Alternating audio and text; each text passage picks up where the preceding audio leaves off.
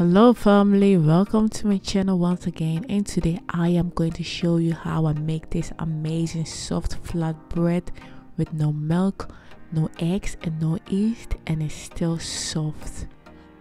So let's start it. I'm going to use 200 gram garbanzo flour 200 grams of flour then i'll add one teaspoon of onion powder thyme parsley basil and oregano to it I'm going to add 1 teaspoon of sea salt to it by adding water to the sea salt to melt it and add 3 teaspoons of olive oil to it.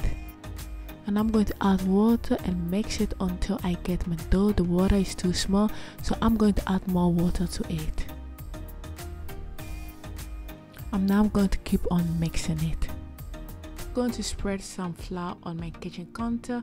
Please make sure that your kitchen counter is very clean and neat. My dough is very very sticky and very very soft. So i'm going to add more flour to it and knead it for five minutes until my dough become a little bit thicker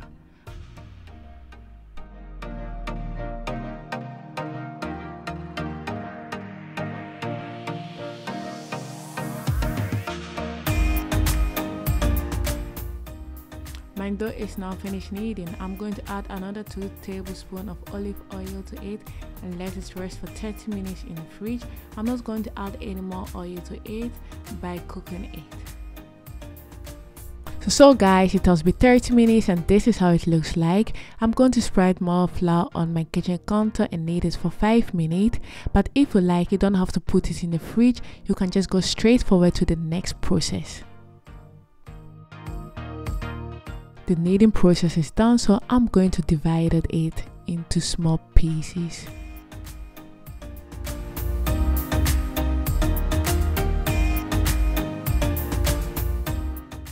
And rolling each piece into a ball. I'm now going to make each ball flat by using my kneading stick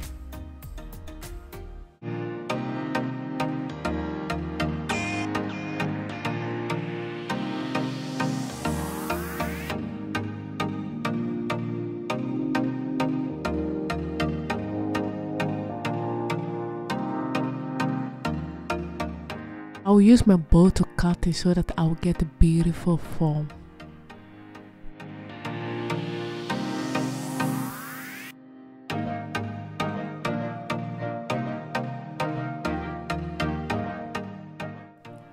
I have got the right size that I want and this is how it looks like so I'll continue using the same method for the rest of the dough.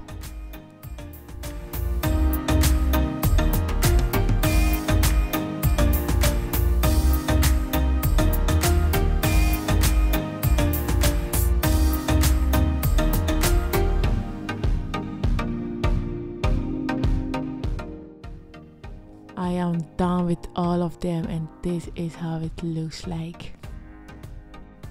So let's start cooking it. I've already heated the pan on a medium heat. I'm going to cook each side for 3 minutes. What I have to do now is keep on turning it because the first one always burns quickly.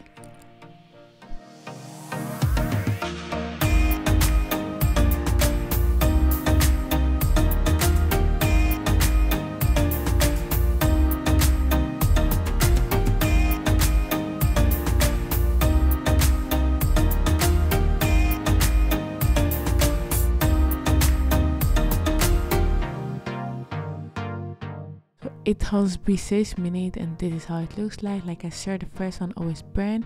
So i'm going to use the same method for the rest of it. Now the pan is very very hot. So i'm going to lower the heat now. Is the last one. So guys i'm finished now and this is how it looks like. Like i said no milk no egg no yeast and it's still very very soft you can use it as wrap and also eat it with anything that you want. Guys this is how i make my homemade flat bread. Thank you very much for your support and i will see you in the next video. Bye bye